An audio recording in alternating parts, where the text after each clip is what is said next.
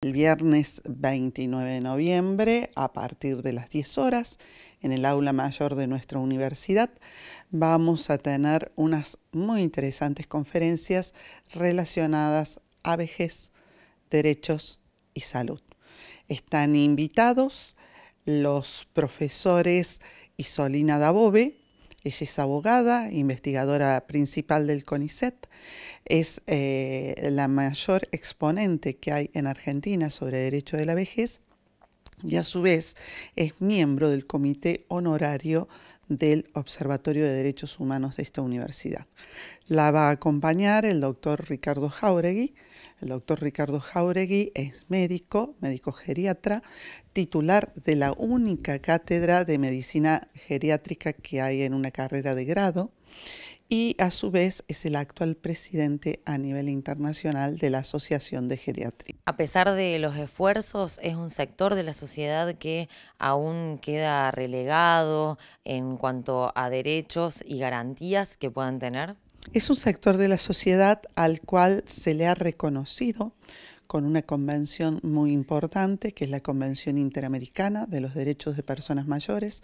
Argentina, esta convención es del año 2015, Argentina la suscribe y ratifica en el año 2017 y desde diciembre del año 2022 tiene el nivel igual al de la Constitución por una ratificación especial que se hizo en el Congreso de la Nación. La vejez es la última etapa de la vida tal vez la etapa más larga que tenemos en la vida porque eh, es notoria la longevidad que se da en la actualidad. ¿Por qué es importante eh, que se hablen de estos temas, que la comunidad se acerque mañana a participar de estas jornadas?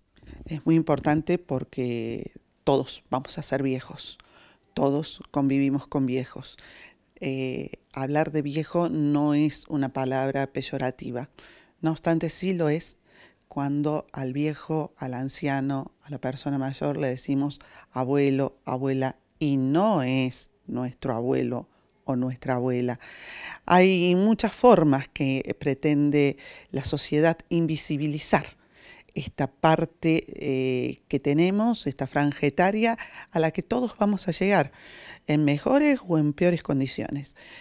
Y uno de los graves problemas que tenemos es que identificamos vejez con enfermedad y ser viejo no es estar enfermo. Más allá de los profesionales que se pueden dedicar a este tema, eh, también se pueden obtener algunos tips, algunas herramientas que como ciudadanos comunes podamos implementar en nuestras vidas cotidianas para poder revertir estas situaciones. Por supuesto es así.